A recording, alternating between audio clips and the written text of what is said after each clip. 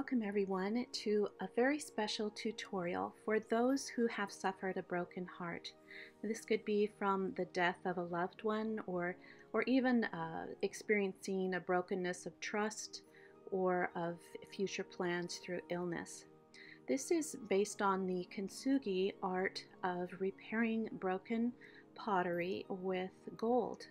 They will take a uh, broken plate, a broken bowl, and they will repair it with a special kind of tree sap that they make into a lacquer. And then after it has been securely put back together, they will gild all of the seams with 24 karat powdered gold. And this is to emphasize the beauty of the healing and the mending, but that the scars will remain precious. So that's the theme of our design today. I made a heart-shaped stone from the mold from the Happy Dotting Company and a link for that is in the comments below. And I used the Ultracal gypsum cement to make this stone. It took about a day and a half for it to cure and then I painted it black and it is ready to use now. So I'm using the same mold, I just photocopied it and I'm cutting out the heart on the top because I want the heart to be the right shape. And I'm going to place that on the top and use my General's charcoal white pencil to trace an outline on top of the art stone.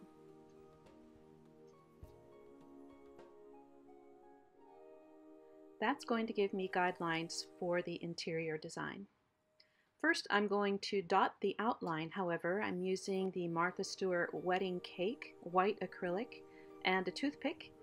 And I'll just be dotting that guideline with very small dots, trying to get them close together but not touching, and all approximately the same size. So as the toothpick builds up with paint, I'll wipe it off and keep dotting.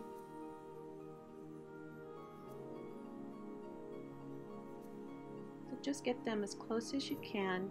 Make sure your paint is thick enough that your little dots don't pool out and touch one another work down one side, and then I go backwards to reach that point and then continue on up the other side of the stone.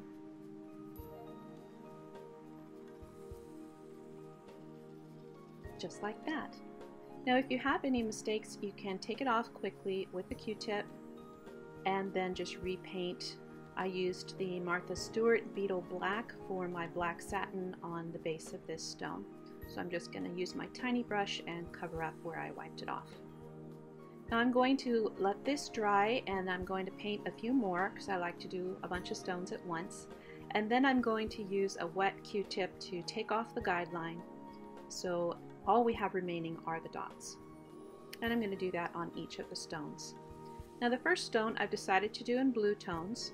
So mix up five different shades of the color you would like to use. I'm going to start with the blue so not only am I doing light to dark, but I'm also changing the hue a little bit by making it a little bit more purpley or a little bit more turquoise. And I'm using a combination of heavy-bodied acrylic mixed with the golden fluid acrylic for really bright, vibrant colors. And if your paints are too thick, you can add the Liquitex pouring medium. And if they are too thin, you can use the Liquitex gel medium or the iridescent and that will thicken up your paints nicely. But mine are a good consistency. I mix them up in these little cups with lids so I can uh, continue to use them on other projects. And I'm going to start with medium and small dots in the darkest shade all around the outside of the heart. And just sort of randomly place them. You don't want them to be in any particular pattern but use a combination of different sizes as you're going through here. The randomness is what helps all of this blend together nicely. So once you have your darkest shade in, you can go back with your next shade and work your way toward the center of the stone, but you always work your way backward as well. You want the two to blend together, so I'll use my toothpick to go back into the darker shade with the lighter shade. So we get a blending effect. Just start filling in as many spaces as you can and then move on to other shades. Now I'd like to spray mine with the blow dryer in between the colors just to form a skin on the acrylic paint so the dots will not pool out as I'm working and this just helps give them more definition. And you can see how they're getting in together. I still have a lot of spaces to go yet so I'm moving to another shade of blue and I'm going to start filling in these spaces and working my way toward the center. And some of the dots I'll make bigger just by swirling them a little bit and then filling in as I go. And sometimes I'll go back and, and load up a dot with more paint to, uh, make it taller to give the design a little bit more texture. So now I've gotten all the way to the middle with the lightest shade and I'm really starting to fill in. And then I'm going to go back and fill in all the tiny spaces back into the lighter shades all the way to the edge using little tiny microdots of the very lightest blue. This is just going to make your design a little bit more vibrant. So that one is done and I'm going to allow that to dry completely and while that is drying I've decided to do another one in red. So I've mixed up five shades of red and instead of fading to pink I'm fading to orange because I wanted it to stay a little bit more vibrant. And again filling back in with the lightest shade just to brighten it up a little bit. So there's the pink one, pink and red. A little bit of orange in the middle just to make it glow. And the third one I decided to do in purple and lavender.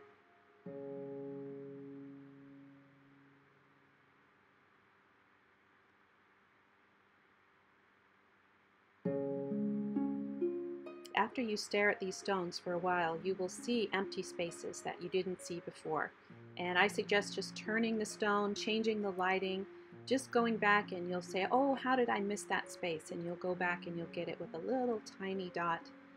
And eventually you'll get this all filled in. And there's the purple one. So I'm going to let these dry completely. And then I'm going to put on my gold kintsugi fill-in here. And I'm using a combination of golden fluid iridescent fine gold and Hansa yellow just to give it a little bit more brilliance. And I put it in this little squeeze bottle that I got at Hobby Lobby with the fine point on it. You could also use a paint pen, but I like these bottles because it's more like a henna cone and it can give you really thick lines or really thin lines. So as you apply your lines, you can do it randomly. You can look at uh, pictures of broken pottery or, or things that have been repaired in the kintsugi method just to give you some sort of an idea.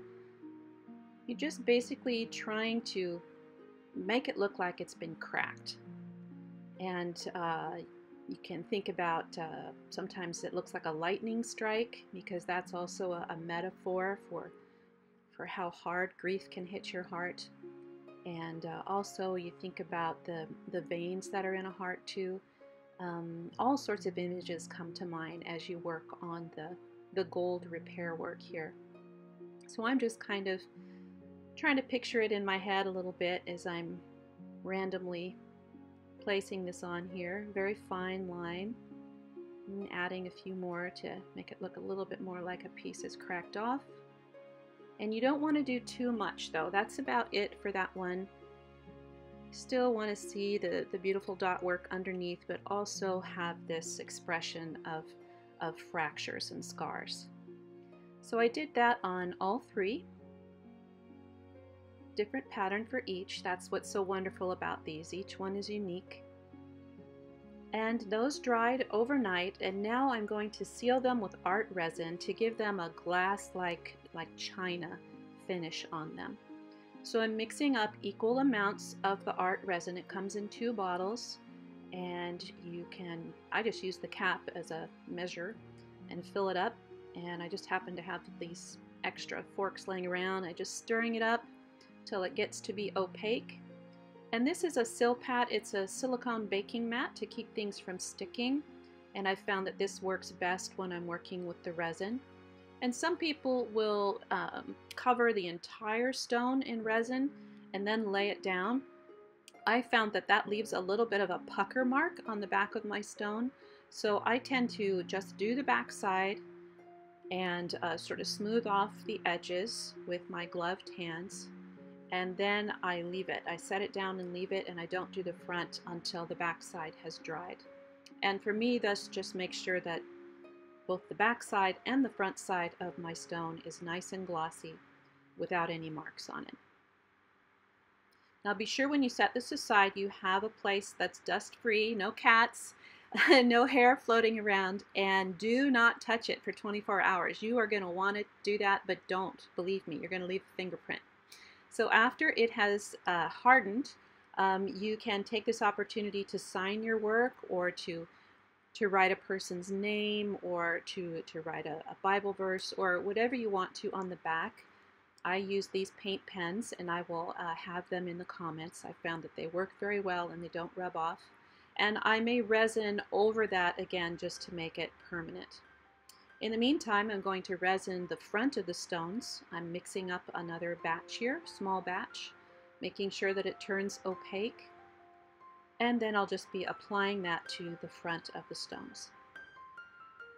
Rubbing it in really good, getting into all those little cracks and crevices, smoothing off the edges. And I will let that sit aside and cure for another 24 hours. And before I do that, I noticed that this uh, time I mixed it up, there were quite a few bubbles. So I'm just using a straw to blow out the bubbles. They come off very easily. Just blow it all around, turn your tray, and blow it from another direction, and those bubbles will pop. And then they're ready to sit overnight. So these are finished now. They've hardened and they're very glossy. Makes your design permanent. I found that it makes the uh, art stones harder so they're if you drop them they're less likely to crack and break. So I really like art resin. This is how they look. They're very glossy. They can be a little bit hard to photograph though if you're wanting to put them on Pinterest or on your Etsy page. They're a little hard to photograph with this, this much of a glossy shine on them.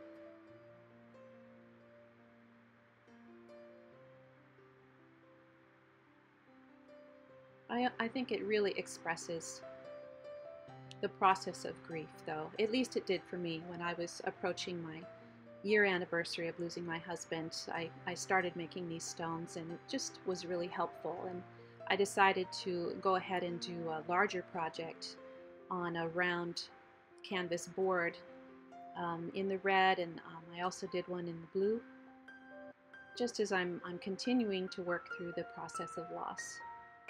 And I think art is a, is a wonderful way to express things that are hard to express in words and I hope that this is helpful for someone else who is also experiencing a heartbreak. Thank you for watching, everyone.